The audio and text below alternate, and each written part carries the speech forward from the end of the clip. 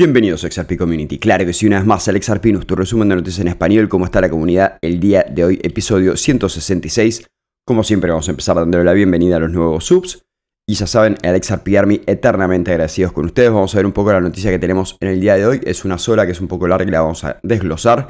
Que dice, la demanda XRP, los ejecutivos de Ripple deberían agradecer a la SEC por demandarlos individualmente. Esa es la noticia XRP Army que tenemos en el día de hoy. Bueno, vamos a invitar a todos los que no están suscritos al canal a suscribirse, los que no tengan la campanita activada a activarla y los que quieran dejar su like, así compartimos con el resto de la comunidad y sumamos más followers al canal, nos hacen un gran favor.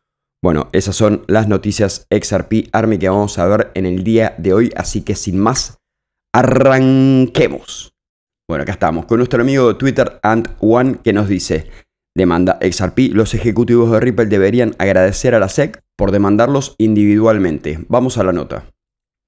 Acá estamos, nota del día de AMB Crypto que nos comenta que los ejecutivos de Ripple deberían agradecer al SEC por demandarlos individualmente. Veamos qué nos dicen. Parece que la SEC está lanzando este DPP Hail Mary y espera que la juez Torres los rescate en la apelación. ¿No ha sido así últimamente? No obstante, Ripple Labs y sus ejecutivos continúan reprimiendo una posible victoria contra los organismos reguladores. El 11 de febrero, Ripple Labs presentó una carta de moción para obligar a la SEC a entregar las notas. Estas notas se referían a la reunión del 2018 entre Brad Garlinghouse y el excomisionado Elad Roisman. Como era de esperar, sin embargo, los demandantes se negaron, y al hacerlo, la SEC afirmó que eran privilegiados. Todo tiene fecha de caducidad. Sin embargo, eso no fue el final. El 28 de febrero, el director ejecutivo Brad Garlinghouse presentó una respuesta a la oposición de la SEC a su moción de divulgación de los bonos, los bonos de Estabrook. A que continuación vemos un tuit de CryptoLaw de John Deaton que nos comenta, recién añadido a nuestra biblioteca de documentos. Respuesta de Brad Garlinghouse a la SEC. Oposición a la moción para obligar a los pagares de Estabrook de la reunión de Roisman, Ripple 2019. Continuamos abajo. La SEC pidió privilegio pero los demandados piensan lo contrario, según se informa. Según el fallo del tribunal del 13 de enero del 2022, las notas de Estabrook no son privilegiadas y deben divulgarse.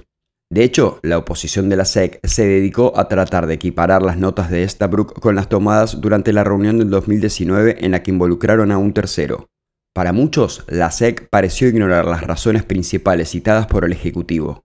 Según el documento en cuestión, Garlinghouse busca la divulgación de las notas de Estabrook ya que es probable que corroboren su relato de la discusión que tuvo con un comisionado de la SEC con respecto a las regulaciones de los activos digitales, un tema que va al núcleo de las acusaciones de conocimiento o imprudencia de la SEC en su contra.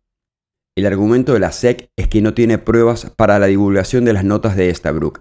De hecho, afirmó que esto invadiría el proceso de elaboración de políticas de la Comisión y agregó que uno de los propósitos de las notas era permitir que el señor Estabrook brinde asesoramiento al comisionado Roisman sobre una posible propuesta futura de la Comisión de una regla con respecto a la regulación de las ofertas de activos digitales. El Ejecutivo cree que el intento de la SEC de defender sus tácticas de espada y escudo no es convincente, Además, Garlinghouse solicitó al juez que negara a los organismos de control involucrarse en tales tácticas. Si el juez otorga esta moción a favor del acusado, esto sugeriría una posible victoria para Ripple. John Deaton, fundador de CryptoLaw, compartió el mismo optimismo que muchos. Vemos acá abajo el tweet de John Deaton que nos dice, esto es potencialmente enorme evidencia exculpatoria. Si estas notas se producen y corroboran el testimonio del señor Garlinghouse de que abandonó la reunión con Roisman confiando en que las ventas en curso de XRP no eran ventas de valores no registrados, se acabó el juego.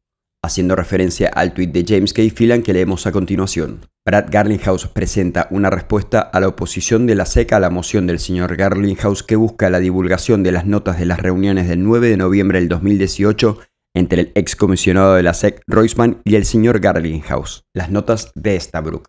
Sigamos por la nota.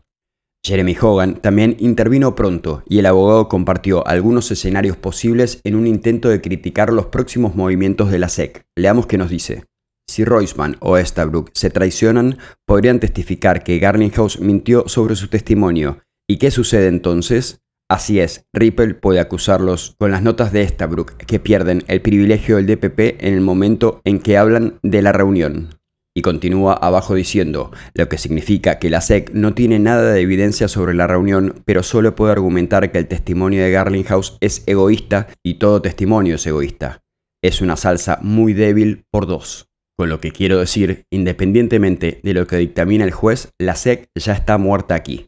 Curiosamente, según John Deaton, gracias a Jay Clayton por demandarlos y crear una mayor carga de prueba para la SEC, al demandarlos individualmente, la SEC hizo que estas notas fueran mucho más relevantes y posiblemente necesarias.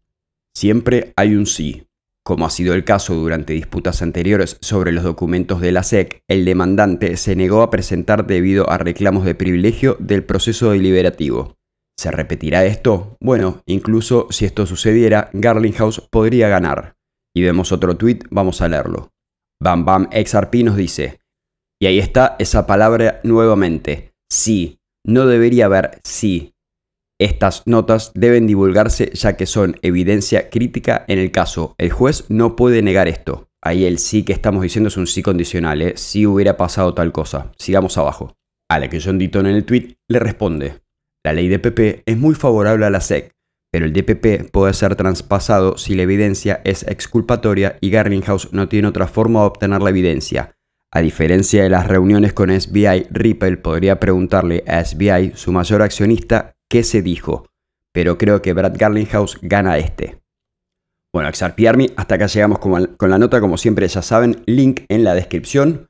Les vamos a pedir a todos que los que no están suscritos al canal se suscriban, los que quieran activar la campanita, actívenla, así se notifican, y los que quieran dejar su like, nos hacen un gran favor, es un video corto el de hoy, los que quieran dejar su rocket en el comentario, y hablar un poco con el resto de la comunidad ahí, saludarse entre ustedes. Yo veo que hay otros canales en los que también ustedes participan y somos más o menos los mismos, los de la comunidad XRP, que vamos de un canal a otro. Así que creo que ustedes también se deben reconocer ahí en los chats de quiénes son los que vamos de un canal a otro.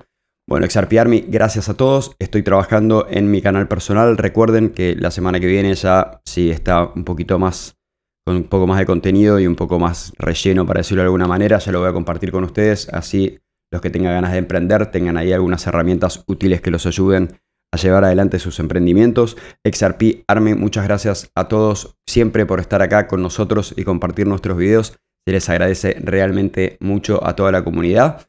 Bueno, estamos viendo en la próxima.